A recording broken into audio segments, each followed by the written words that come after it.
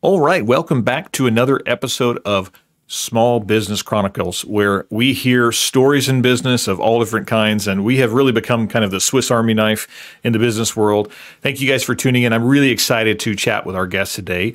Um, and Ralph is actually joining us from uh, not too far from me. Uh, they're in the Chicago area, greater Chicago area.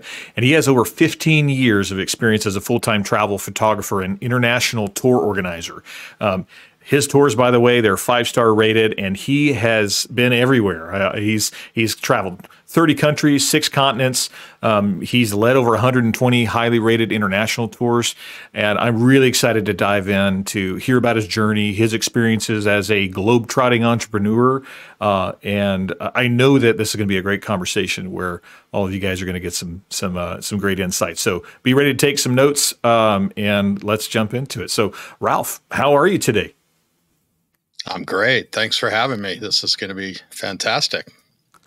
Yeah, no, I mean, I'm excited to chat. I, I love to travel. I think that uh, everybody does. Um, but, you know, I, am really curious um, about, um, you know, what really drew you into the touring business and um, drew you into really seeing this as something that um, you can make a living at. And, and you know, I, I know that you and I have chatted off offline, but I always like to start the show by saying, hey, who are you? Why should we be so excited to listen to you? I'm excited, but I want to make sure that our listeners uh, are just as excited as I am.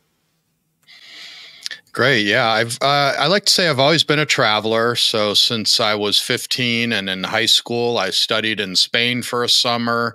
The next summer, I uh, was a volunteer in Peru. The following summer, I was a volunteer in Venezuela. And the next summer, I studied in Mexico City. So from a young age, I was uh, traveling internationally by myself or with, uh, you know, organized groups. So, you know, not the parents kind of thing. But uh, so I was hooked uh, from day one in Spain. And so I've always loved Spain and specific uh, Europe and specifically Spain. But uh, it just got the juices going. And since then, which was a long, long time ago, I always wanted to figure out a way to make a living from travel.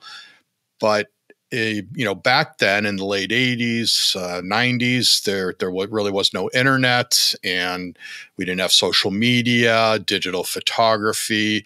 So, kind of, there was uh, everything came together in the early 2000s, I'll say, and uh, when digital photography started to be uh, become something that everyone was starting to learn about and think about, uh, buying new digital cameras, and then eventually smartphones and things. Uh, and then we had the internet with uh, being able to research and do social media marketing. Uh, everything sort of came together. And from 2001 to 2004, I had my second restaurant in downtown Chicago. And about five months after I opened in 2001, May of 2001, we had 9 11. And I was in the city of Chicago, and everyone thought that the you know the, the next big city was going to be Chicago or San Francisco. So it was tough because you know being a new restaurant owner and having a space and having to make a living five lunches a week, which was really all that I had available to me being in that part of the city where it was mostly the business center, um, I had to introduce catering to really uh, boost my my my sales because there just wasn't the walk-in business and people were staying in their offices and catering worked out really well. So anyway, to make a long story longer, I was getting to the end of my uh, initial three-year lease on my restaurant, and I had to decide if I was going to sign for another five years. And so I decided that uh, I was going to take a, a yellow pad and on the left side, I wrote the, the negatives about owning a restaurant, things like uh, having to have employees and having a retail space and leases and landlords and putting things in people's mouths that could get them sick, like food. and so on the right side of the paper, I, I wrote the opposite of those things. And I said, I don't want to have employees. I want to work wherever I am. Uh, I don't want to work with something like uh, food that people ingest and, and may make them sick. So um, I you know, I, it was kind of the perfect time to say, boy, digital photography is just coming to be in the early 2000s, more or less. You know, it was just starting to become commercial. And I said, I bet uh, people might pay me to uh, teach them how to use their new digital devices. And I started thinking about some walking tours that I could do in Chicago. And I said, uh, well, maybe this isn't the best place to do it because of the weather, as we're all experiencing right now. Uh, you know, it really limits. Um, you know, although Chicago gets a really bad rap, it, it, it shouldn't get as bad a rap as it does. But uh, I said, uh, I, I, think I should do this somewhere where the weather's better. And I had lived out in Southern California before, and a friend of mine was out there, and he said, "Why don't you get your financial services licenses?" to be a stockbroker and work for me because that's what he did. So I ended up doing that, and I was going. So I started doing the, the walking tours and the one-on-ones, and uh, teaching at the local city of Newport Beach uh, adult education program, Santa Ana College, Saddleback College, uh, teaching uh, night and weekend courses for adults that didn't require me to have a teaching degree, but that would get me in front of people that would pay me money to potentially uh, you know teach them how to do photography. So that's pretty much how it started and then it was a slow burn from there. And then in uh, september of 2008 we all know what happened and that was the financial crisis. Well here i am a, a, a newbie financial advisor and uh, you know the stock market fell off a cliff. So i always say the next day was the day i went full time. So that was about coming up on 16 years ago now.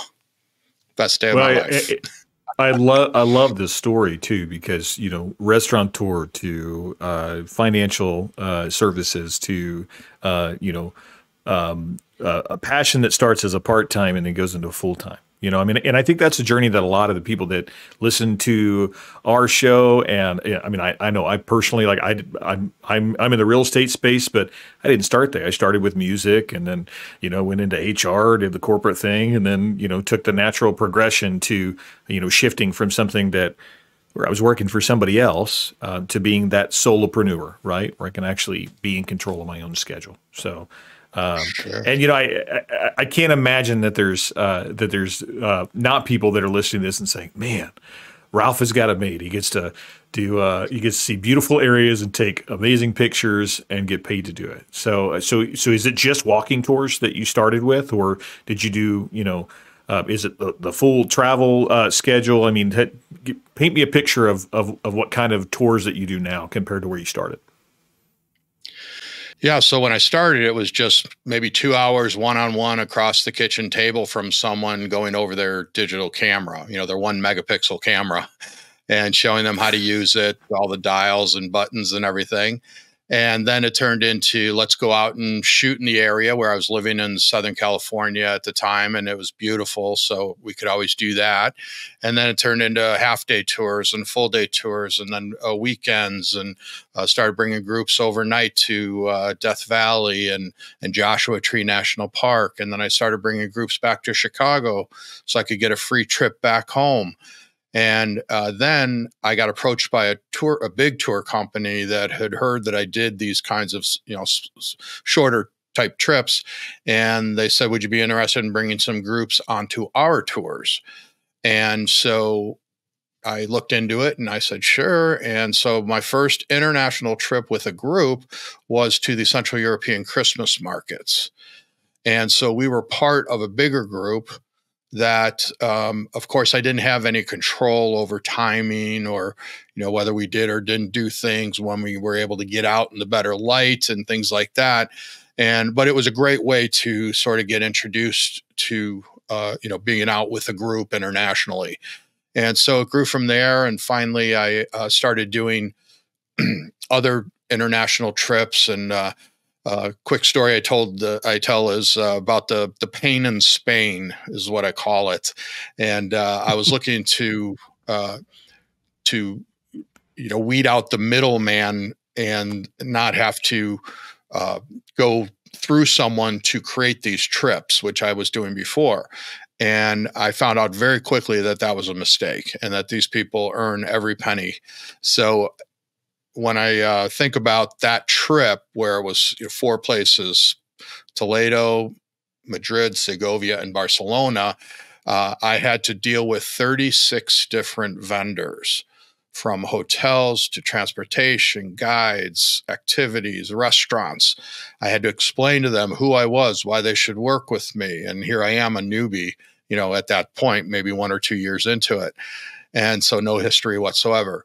So that was a nightmare. So finally, I decided I'm going to work with one person in the destination who knows everything and everyone and just tell them exactly what I'm looking for. And then together we could put together these up to two week trips. And so it was a real uh, slow burn that uh, happened over the course of you know probably five to seven years uh, before you know I really got comfortable doing this all on my own. But I still do work you know, with I, the local tour operators. I, I, I love and it, I love this story because it does apply to other businesses, right? Um, so you you you saw you saw something that somebody else was doing at a high level, and you mm-hmm. replicated it, and you found that the return on investment for your time and your headache. I mean, let's be honest, uh, wasn't worth it. So you know, I, I, we talk a lot about leverage on this show. We talk a lot about um, how to get. Uh, uh, how to grow and scale a business. And I think partnering with people that do something at a really high level is a great way to do that. Um, so um, let's, I mean, let's talk numbers. I mean, you know, financially, was it a, a, higher return on your investment to go ahead and pay those people in the in the individual locations versus you know managing all of that stuff on your own? Yeah, I probably ended up spending about the same amount of money, whether it was me and my assistant trying to put together these trips on our own, having to pay her, my time, and you know, spending hours and hours doing this when I could work with that one person. And the markup that they gave me really wasn't that much. And of course, I passed that on to the clients. They didn't notice it because it really didn't turn out to be that much. And uh, it was the best thing I ever did because now I saved a bunch of time, bunch of headaches, and I had much better information than me trying to figure it all out. Because I, you know, they say, Ralph, no, that's not a good time of year. There's a convention in town, or you know, that's the monsoon season, or whatever it might be, which I may not have found and may have had to to learn the hard way, which is never a good thing when you're, you know, with a with a group. So, so I, I, I would love to talk about how you, um, how you market your business because I can imagine that, um, you know, in the business that you've had and the time that you've had it, I mean, technology has changed, social media has changed, everything went from horizontal to vertical as far as uh, you know uh, a lot of photography goes. People's phones now are are uh, as high quality as as a typical DSLR camera. Um, so, uh, how do you advertise a service? Um, that uh, and, and, how do you, I mean how how do you stick to that moving target? Well, part of it was uh, doing those adult education programs. So if people are looking to uh, create businesses, you may look at whether there's an opportunity to teach an adult education program at your local city or community college, and that might be a really great way to test your uh, your business idea, see if there's an interest, get in front of people that are obviously interested in it if they're taking the course. So that's what I did. And I would get in front of anyone, whether it was three people or 300 that had an interest in photography and uh, travel. Now, earlier on with digital photography, let's say from 2008 to 2016, uh, 17, that was mostly the DSLRs and the new mirrorless cameras and things like that. So I was uh, doing everything I could to network into groups where people were uh, wanting to learn about again those new digital devices getting better at them get out and shoot uh, so i was doing everything to do that now it is much more digital uh, phones and even I'm shooting much more with my phone than ever, especially because I'm shooting video for my YouTube channel. But it's, uh, you know, these cameras are so high quality that you can still get some great shots. And the first tip in my book is that it's not about the camera. So, hmm. um, you know, getting out there. But uh, the other thing that I do is I speak at uh, travel shows, photography shows, camera clubs, uh, the local libraries. Again, still trying to get in front of anyone that uh, may be interested in uh, specifically travel, but also photography. Like this weekend, I'm speaking at a, a local wine shop here in town uh, because I'm creating a trip to Spain for them. And I have this amazing trip to northern Spain where we go wine tasting and uh, do all kinds of tours and amazing food. And so that you know, I saw this wine shop, and you know, of course, there people are interested in wine and food, and uh, you know, like you say, most everyone's interested in travel. So again, it's just about getting in front of that target market. So finding out what your target market is, and then doing whatever you can to get in front of those people. I mean, I, I just, you know, I want you guys that are listening to really take note of that. I mean, because um, that's huge. I mean, if you didn't write down notes there, you should have. education and speaking in the space with your target market, go where your people are. Uh, I call that putting yourself in the way of business, right? Um, and from a cost perspective, I mean, let's be honest, Ralph, like you could spend, uh, I mean, any infinite number of dollars on uh, marketing, on digital marketing, on social media marketing, on you know um, paid ads, Google uh, ad search, SEO. I mean, uh, you name it. But it is uh, more effective with higher conversion, and it's a lot more uh, cost effective to just go straight where your consumers or your or your your customers are that would actually utilize your service. So uh, genius, by the way. I want to commend you for that. And I, I know that other businesses um, could take that model and actually place it with whatever their industry or whatever their service is, right? Uh, so, Absolutely. And I, yeah, excuse me, but um, I, and to tell you the truth, I've done all the Facebook ads, the Google ads. I've hired the social media marketing people, and I don't know that I've ever once got a client from spending those dollars and instead, I've gotten them from doing these speaking engagements where sometimes I'm getting paid to do those. Other times I, I will spend my time and, and do it for free in exchange for their them giving me the opportunity to be in front of that target audience. That's huge for me. Um, so you just never know and uh, so it's it's worked out. I'd love to uh, do public speaking, uh, podcasts. I mean, here we are. You know what what another great way that didn't exist. Uh, you know, even five seven years ago at, at this level that it is, uh, to uh, get in front of now your audience with my message. And you know it's I just mean, podcasts it's content. are absolutely fantastic. It's another free speaking opportunity well, and YouTube, yeah. I mean, I know you have an avid, um, uh, an active YouTube channel. I mean, another great way to to, to build a business. Yes. And you know, I, I, think a lot of our uh, a lot of our listeners are starting to get this if they've been listening to uh, to us for a while. But I see a lot of new business owners or struggling business owners, um, in particular solopreneurs, that just uh, they just get they hit that wall and they buy into the fact that you, you know you have to spend money to make money. And i've just found that that is not universally true. It just takes a really uh, smart business plan where you're targeting the people that you want to be in front of. So uh, now i do want to talk a little bit about your book because you you have you've taken your 15 years and six continents worth of experience uh, and all the hard knocks and actually um, you know um, taken that information and turned author so tell us a little bit more about um, your your book and uh, what it's about who who would really enjoy reading it Sure. So I, I wrote a book uh, recently, and it's probably my fourth or fifth book, actually. But uh, this one is called uh, 60 Affirmations for Travel. And it's affirmations that people can use uh, and work with on the road. And so affirmations are like uh, ways, uh, they're, they're just little nuggets of positivity that you can repeat to yourself and absorb and be a more mindful and intentional traveler and therefore get much more out of your experience than just kind of going and seeing what happens.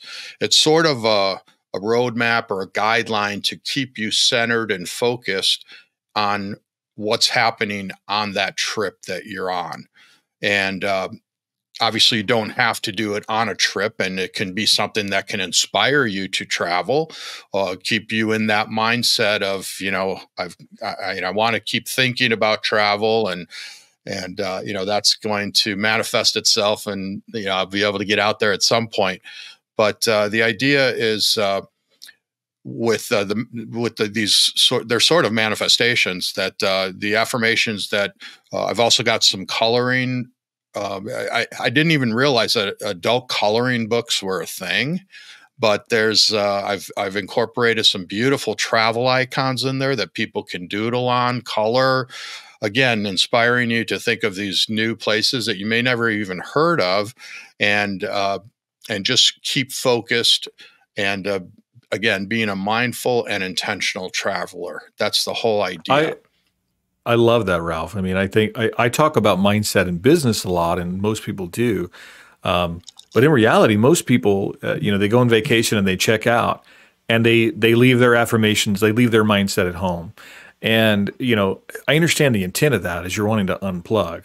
Um, but you also don't want to do it at the cost of uh, you know not enjoying your vacation or not having the right mindset while you're on it. You know, I, I have had those vacations. I'm sure other people have where something goes wrong or you're just in a bad mood or the person that you're with, you know, your significant other is just not in the right mindset to be uh, where they're at. So I love that approach. That's fantastic. So where where can yeah, where can we find information on it? I mean, what what um, where all is your book located right now? Sure. Right now, it's uh, just available on Amazon, and you could just search for 60 affirmations for travel. And I'm writing it under the Continental Drifter byline. So if you go in there, and I'll give you a link to it, and you can uh, uh, check that out. But uh, it's only $7.99 right now. I will be increasing the price in the next month or two as the book uh, starts to age a little bit because uh, you know, I, I want to get it out there. I want people to to read it, review it, and uh, hopefully that will lead to more book sales down the line. Uh, but uh, yeah. just back to your idea about traveling, uh, you know, it depends on the kind of trip you're on. You know, if you're going on a trip where you're just like, hey, I've been working my tail off. I want to go to the beach and I just want to check out for for seven days. Uh, you know, that's one thing. And, and of course, you could still maintain a book like this, no problem, five minutes a day. But um, if you're on a trip where, let's say, uh, you know, it's a once in a lifetime trip to say, you know, I don't know, Cambodia or India or something, um, you know, a lot of times people just sleep in and they'll miss the best part of the day which to me is early earlier morning not early early morning sunrises but uh, getting out after breakfast before the before the uh, tourist crowds before the heat of the day best light of the day.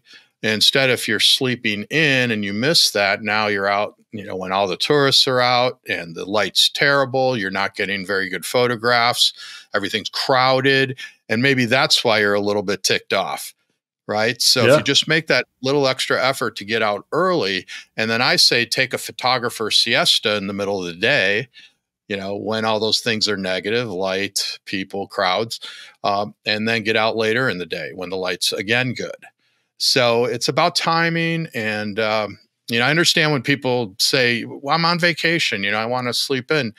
Well, it, it, I guess it depends on the kind of vacation, and people can, of course, do what they want. But uh, it, it, just depends.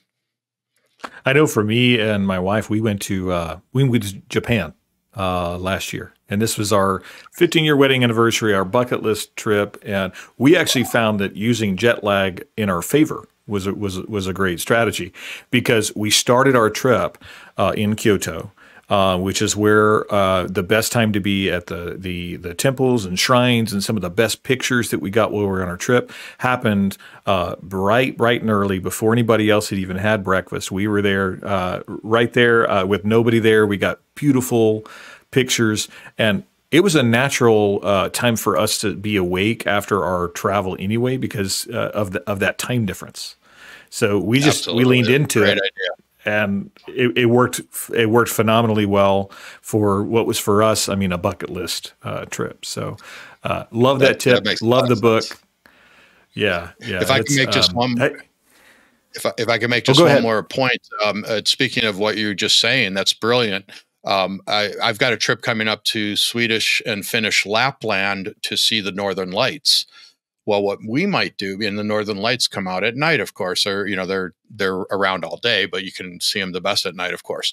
So what we may do is just stay on U.S. time zone and be up when we want to be instead of like being up all day and then trying to stay up all night to uh, see the lights. So why not just stay on the US time zone and then we're in the perfect timing, you know, all the time that we're there. So that's uh, yeah, that's a great, no, that's a great point. Yeah, we uh, yeah we took advantage of it in the morning, and then as the trip went on, we took advantage of Tokyo nightlife for the same reason. Right. So you know, we just we kind of went with our natural rhythm and took advantage of the the different times of day. So uh, love it. Well, Ralph, I know we could talk uh, about travel, talk about business all day long. We are getting a little bit closer to the end of our time. So I, I want to make sure that I give all of our listeners an opportunity to connect with you wherever uh, wherever you're at. And I know you've got your YouTube channel. Uh, you've already talked about your book, but if someone's interested in doing a walking tour or finding more information uh, about what you do, what's the best way for them to get in contact with you? Sure. So everything is in the hub of my website at continentaldrifter.co. And you can find everything about uh, my YouTube channel, which is youtube.com slash continental drifter. And I'm also on all the social media outlets at Ralph Velasco and uh, also slash continental drifter on a lot of them. But uh, I'm pretty somewhat active on Facebook so uh, people can follow along there, and I would love it. But uh, continentaldrifter.co is where people can find just about everything, and I'd, I'd love to. Uh, if anyone wants to reach out to me, it's Ralph at continentaldrifter.co. Appreciate That's it. fantastic. Fantastic. Awesome. Well, I I really appreciate everybody tuning in, and and thanks again for uh, for having a conversation uh, with me, Ralph. I really really enjoyed it. Again, if you guys enjoyed uh, listening to to Ralph, make sure you check him out. Uh, and if you found today's conversation inspiring, don't forget to you know do all the podcast things. Give us a like, a rate, a subscribe. Uh, check Ralph out on his channels too. Um, and as a reminder, this is a part of the Small Business Network uh, of podcast where uh, where we do all things podcast in the business space. Uh, we're proudly produced by Titan MediaWorx. So uh, if you guys want to check out more of our other shows, you guys know where to where to find us. So until next time, keep up that entrepreneurial spirit and just remember that every small business has a big story. So I'm your host Brian Stone. We'll see you guys next time.